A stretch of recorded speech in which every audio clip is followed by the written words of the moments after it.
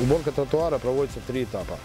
Первый этап – это тракторная щетка прометает э, тротуарную плитку от наледи и снега. Второй этап – идет трактор, э, тракторная бочка.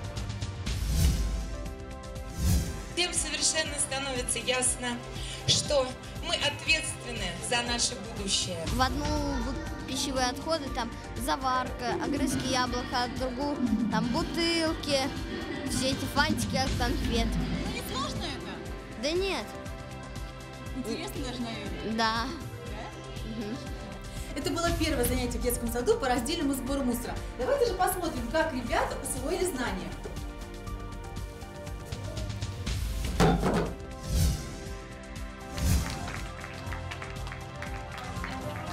Уже на протяжении нескольких лет мы собираем крышечки, которые перерабатываются, и собранные деньги э, отправляются на, на помощь э, лечению детей-инвалидов, на покупку колясок. И мировая повестка. Желтые жилеты блокируют завод «Тотали», требуют отставки Макрона. Почему американские педиатры советуют покупать детям простые игрушки? Эти новости и не только в нашей рубрике «Мировые новости».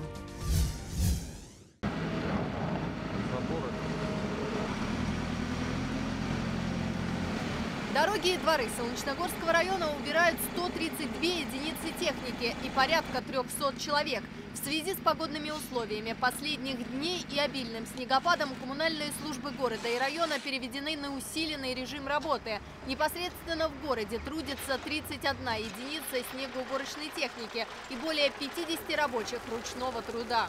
Техника новая, не старше трех лет. У подрядной организации представлена в виде КДМ машин, тракторов МТЗ 82 и 320 лаповых погрузчиков, КАМАЗ, э, КАМАЗов, самосвалов. Уборка тротуара проводится в три этапа. Первый этап – это тракторная щетка прометает э, тротуарную плитку от наледи и снега. Второй этап э, проливается трактор, идет трактор, э, тракторная бочка с проливанием солевым раствором. Когда снег отходит и наледь, проходит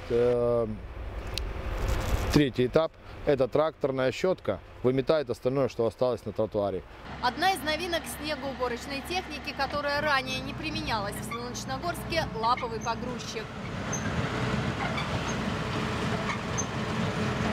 Лаповый погрузчик используется при выполнении технологической операции после обработки улиц э, и проходов колонн КДМ машин вместе с тракторами для подбора и погрузки э, в КАМАЗ-самосвал. Все сотрудники и дирекции, и подрядной организации усиленно трудятся, чтобы город был приведен в порядок в кратчайшие сроки. По словам директора МБУ Анатолия Белова, при необходимости в период обильных снегопадов будет привлекаться дополнительная техника. Юлия Унрау, Екатерина Косевич, Дмитрий Кузякин. Наше время.